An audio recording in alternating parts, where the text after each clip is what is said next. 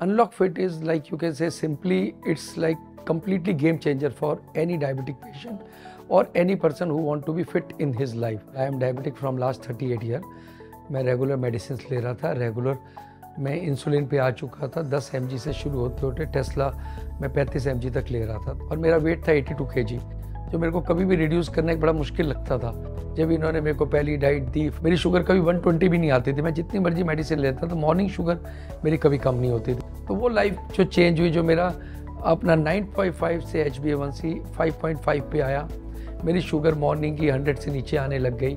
मेरा वेट 72 जी आया। ये सब एक अपने आप में एक मैजिक है।